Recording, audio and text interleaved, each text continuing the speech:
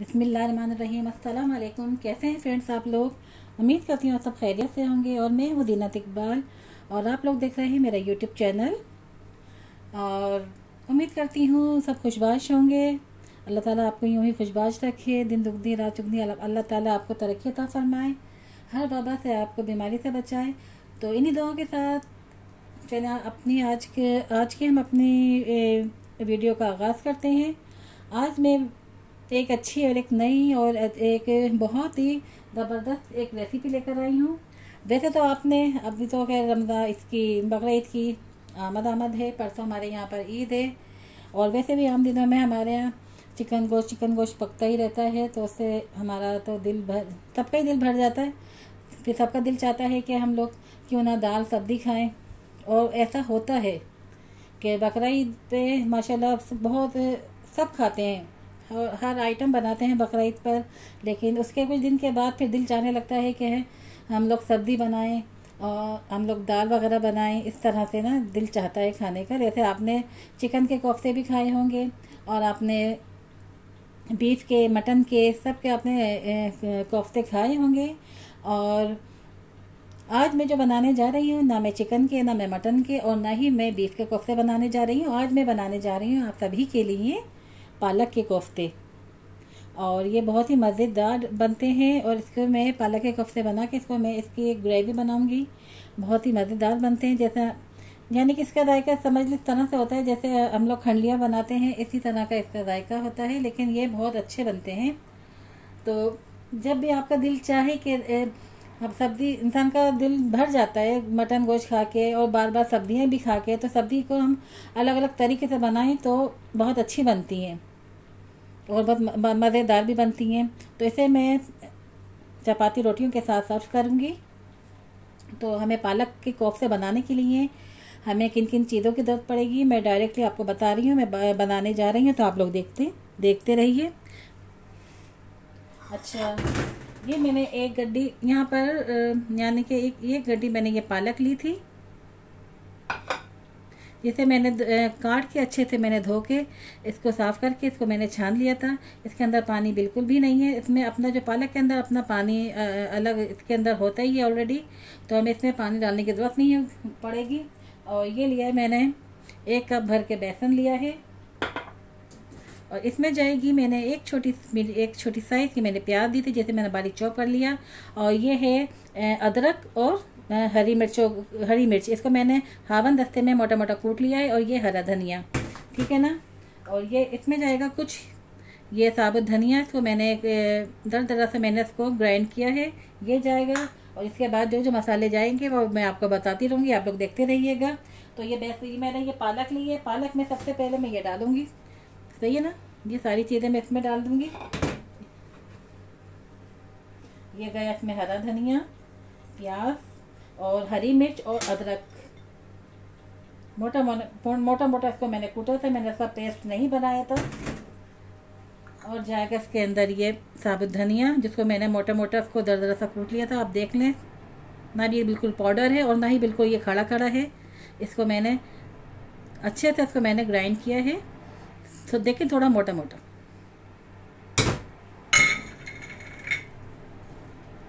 इसके बाद मैं इसमें डालूँगी नमक। नमक अब अपने टेस्ट के मुताबिक डाल सकते हैं, कम या ज़्यादा।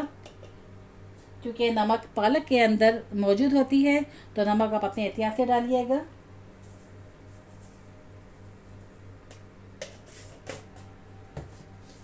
इसमें डालूँगी मैं कुछ साबुत ज़ीरा। आप चाहें तो इसको इसमें पीस के भी डाल सकते हैं। तो साबुत ज़ीरा में कुछ साबुत डालूँगी। और कुछ मैं इसके अंदर पिसा हुआ भी डालूँगी।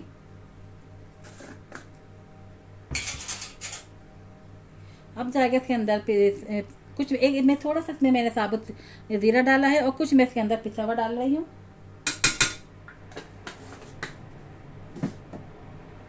ठीक है ना? अब इसके अंदर जाएँगी कुटी हुई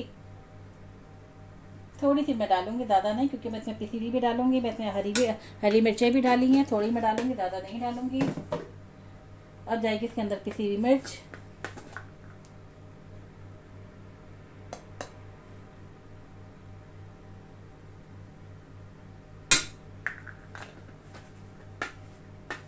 मिर्चें भी अब अपने टेस्ट के मुताबिक डालिएगा। अगर आप ज़्यादा खाते हैं तो ज़्यादा डालें, कम खाते हैं तो कम कम डालें, लेकिन बहुत ज़्यादा डालने से इसका टेस्ट अच्छा नहीं आता है।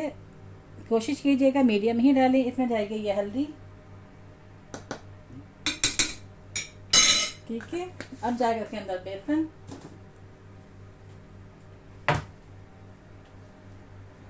मैं डालूँगी बेसन। अच्छा बेसन डालने के बाद इसमें हम पानी नहीं डालेंगे, इसको मैं अच्छे तरीके से करूँगी मिक्स फिर मैं आपको दिखाती हूँ। हेलो फ्रेंड आप देख सकते हैं कि मैं इसको किस तरह से इसको मिक्स कर रही हूँ। अच्छा अगर आपको इसके अंदर पानी डालने की ज़रूरत हो तो बहुत ज़्यादा नहीं। अगर आप महसूस करें कि इसको पानी की ज़रूरत है तो आप ए, ये जो चमचा है ये वाला चमचा इसको ये दो चमचे भर के पानी इस तरह से डालें थोड़ा थोड़ा करके। ज़्यादा नहीं जाएगा वरना चिपचिप हो जाएगा आपके सही ये कोफ्ते अच्छे नहीं बनेंगे। बस इसको हम ये थोड़ा सा मिक्स करेंगे अच्छे से।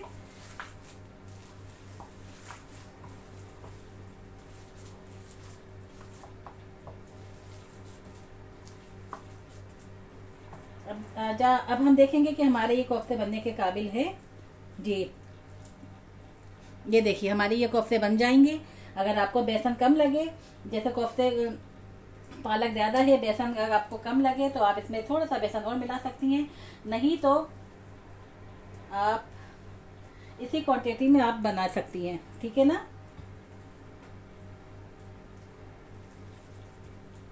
चलिए, ये हमारा बन के तैयार हो चुका है।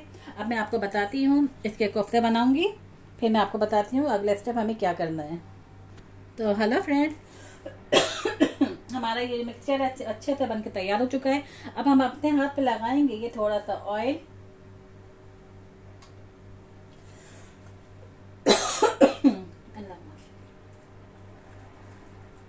और इसके बनाएँगे हम कोफ्ते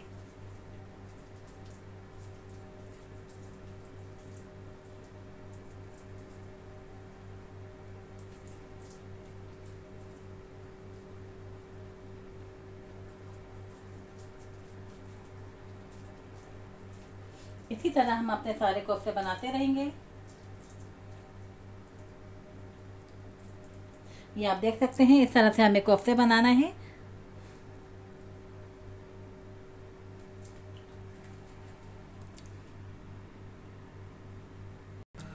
हमने कोफ्ते बना के तैयार कर दिए ये देख सकते हैं ना ये कोफ्ते बना के इसके तैयार कर दिए। और हमने ये ऑयल गरम करने के लिए रख दिया है अपने फ्राई पैन में। अभी इसको हम करेंगे हल्का हल्का इसको हम फ्राई करके निकाल लेंगे। फिर हम इसके ग्रेवी बनाएँगे। तो ना फ्रेंड्स हमने अपने कोफ्ते जो थे, ये पालक के कोफ्ते, वो हमने ऑयल के अंदर डाल दिए। ऑयल हमारा गर्म हो चुका था।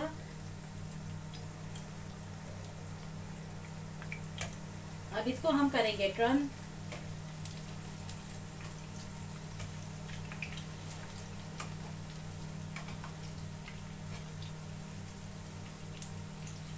इसी तरह हम कर लेंगे सारे सारे सारे को कोफ्ते टर्न कर लेंगे और इसको हम गोल्डन ब्राउन करके इसको बाहर निकालेंगे, फिर हम इसकी ग्रेवी बनाएँगे। तो हेलो फ्रेंड्स आप देख सकते हैं कि हमारे जो पालक के कोफ्ते थे वो बनके रेडी हो चुके हैं। अब मैं आपको बताऊँगी कि हमें ग्रेवी के ग्रेवी के लिए हमें क्या क्या चीज़ें लेने हैं। तो चलिए आइए देखते हैं। तो हेलो फ्रेंड्स हमें अपनी ग्रेवी बनानी है आलू, ये पालक के कोफ्तों के लिए। तो हमने एक एक हमने मीडियम साइज़ का टमाटर लिया था, क्योंकि हमारे पालक के कोफ्ते कम हैं। आप बड़े साइज़ का भी ले सकते हैं। तो मैंने मीडियम साइज़ का, मैंने एक टमाटर लिया था। ये मैंने एक टमाटर काटा है और एक मैंने बड़ी साइज़ की प्याज ली थी। वो मैंने ये मोटी मोटी काट ली है क्योंकि हमें इसको ग्राइंड करना है।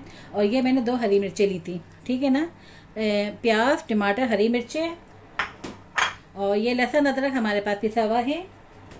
और इसका मैं तड़का लगाऊँगी। ये है हमारे पास साबुत ज़ीरा और ये मेथी दाना। इसका हम तड़का लगाएँगे। अच्छा इसमें हम ये जो हमारे पास इसको हमें ग्राइंड करना है। इसी के अंदर मैं थोड़ी सी मिला दूँगी कसूरी मेथी।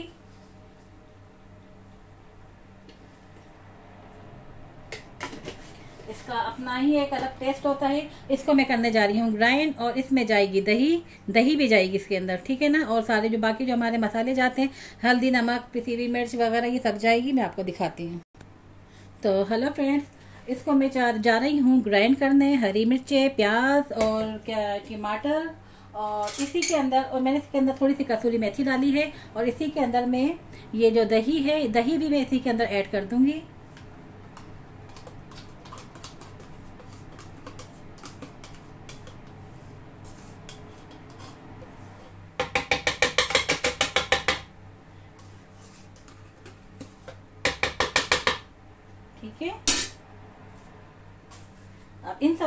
दूँगी मैं ग्राइंड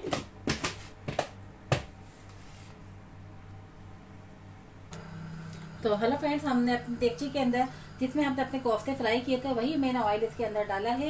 इसी के अंदर मैं अब डालूँगी, ये मैंने दिखाया था आपको, ये मैं डालूँगी मेथी दाना और जीरा. हल्का सा ये कड़कड़ा जाए. इसमें मैं डालूँगी लहसुन अदरक का पेस्ट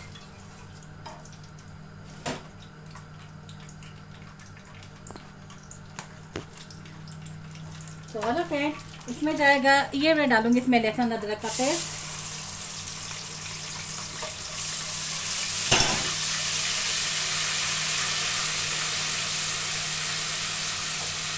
माशाल्लाह माशाल्लाह, बहुत अच्छी अच्छी खुशबू आ रही है, और ये बनते भी बहुत मज़ेदार हैं।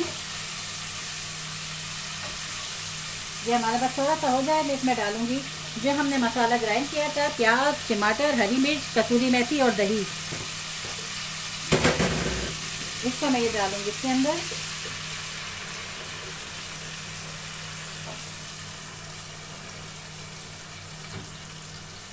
ये सारा का सारा चला गया इसी के अंदर।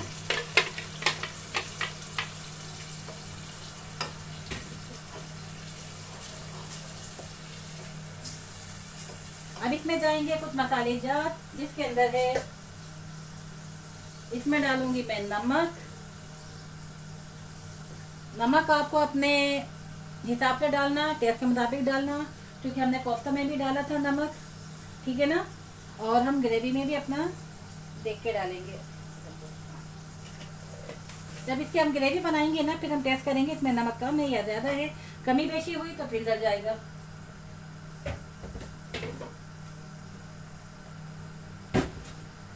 इसमें जाएगी हल्दी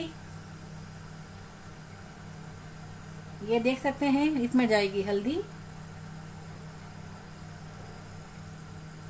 ठीक है? क्या क्या गया इसमें? नमक, हल्दी, और अब जाएगी इसके अंदर पिसी हुई मिर्च।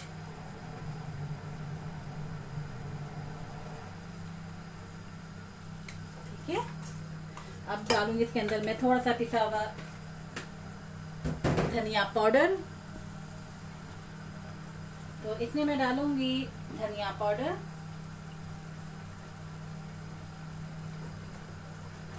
अब इस मसाले की हमें अच्छे से इसकी भुनाई करनी है। अगर आपके पास थोड़ा कड़ी पत्ता हो तो आप कड़ी पत्ता भी डाल दें तो उसमें माशाल्लाह बहुत अच्छी खुशबू और बहुत अच्छा जायका भी आता है। तो मेरे पास तो नहीं था तो मैंने इसलिए डाला नहीं। तो मैं इसकी अच्छी से करूँगी भुनाई, फिर आपके बताती हूँ कि अगला स्टेप के बाद क्या होगा। तो अब जाएगा इसके अंदर मैं डाल रही हूँ पिसा हुआ ज़ीरा, यही पिसा हुआ ज़ीरा।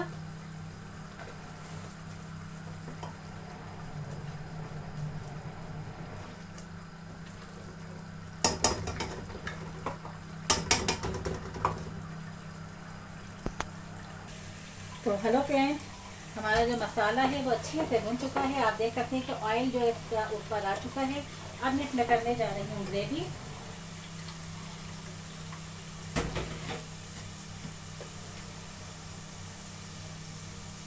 इसमें मैं करने जा रही हूँ ग्रेवी इसमें मैं डालूँगी दो हरी मिर्चें।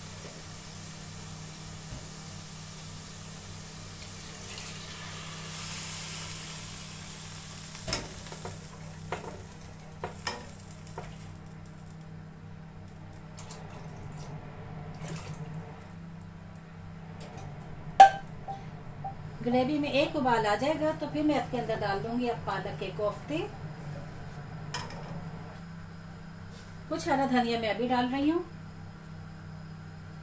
और कुछ हरा धनिया मैं बाद में डालूँगी।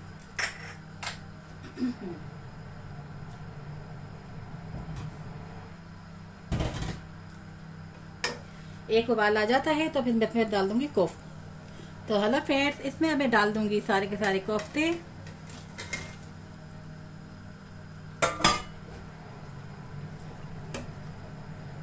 इसको कम से कम मैं एक से दो उबाल आने तक इसको पकाऊँगी, फिर ये रेडी हो जाएगी हमारी बनकर तो हेलो फ्रेंड्स आप देख सकते हैं हमारे जो कोफ्ते थे बन के रेडी हो चुके हैं। अब मैं इसका करती हूँ चूल्हा बंद। अब इसको मैं रखूँगी एक से दो मिनट ऐसे ही, ये ऑयल ऊपर आ जाएगा। फिर इसको मैं आपको सर्विंग डिश में निकाल के बताऊँगी। तो हेलो फ्रेंड्स आप देख सकते हैं हमारे पालक के कोफ्ते बन के माशाल्लाह कितने अच्छे रेडी हुए हैं और इसकी बहुत अच्छी खुशबू आ रही है और जायका भी इसमें बहुत है। आप इसे चाहें तो सादे चावल के साथ, तंदूर की रोटी के साथ, चपाती रोटी के साथ सर्व कर सकते हैं। इसमें मैं डालूँगी थोड़ा सा हरा धनिया।